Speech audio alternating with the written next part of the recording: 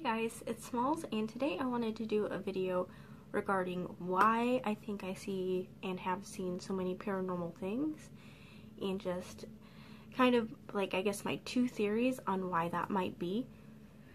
The first one is probably the fact that my parents never really shunned um, my belief in the paranormal and I was always allowed to investigate the paranormal and ghosts and UFOs and just things like that.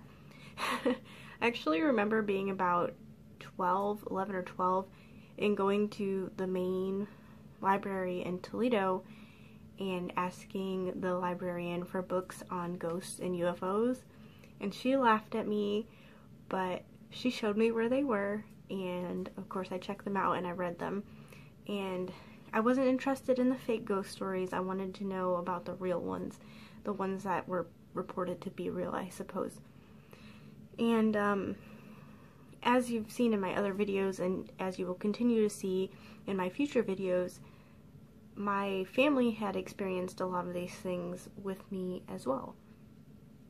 So I kind of think, you know, it, it kind of depends on what you believe, but I do believe that we have a third eye, and I think the fact that they never shut that off for me has helped me um, continue to see things in my adult life. The, the second reason why I think I've seen so many paranormal things is actually in my blood. I think that it's my Hungarian side of the family that really kind of um, perpetuates this. Now, that's not to say that my dad hasn't had weird things happen to him. Um, my grandmother, his mother, was actually a, a witch. She was a kitchen witch. So, I mean, she's kind of got so, I mean, I've kind of got that from my dad's side too, in terms of like the uh, esoteric magical side. Does that make sense? Um, but in terms of like the Hungarian side, um, I was always told that my family, my ancestors were gypsies. And I don't, I don't view that as like a derogatory term. I know that in the past it has been, um, but I don't really go around calling myself a gypsy just because I do try to be politically correct when I can. I don't want to insult anyone um, whatsoever. But a uh, really interesting fact that kind of confirms this for me, and uh, I actually just learned about this within like the last couple of weeks. I found a second cousin through Facebook. Her grand her grandfather was my grandfather's brother.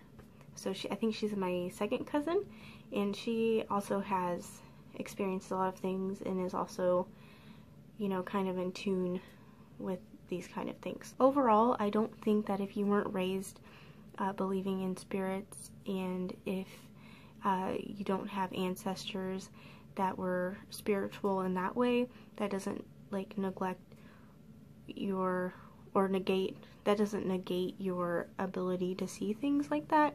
I think sometimes we're just born that way. Um, but I do think that it plays a lot into my being able to see these things.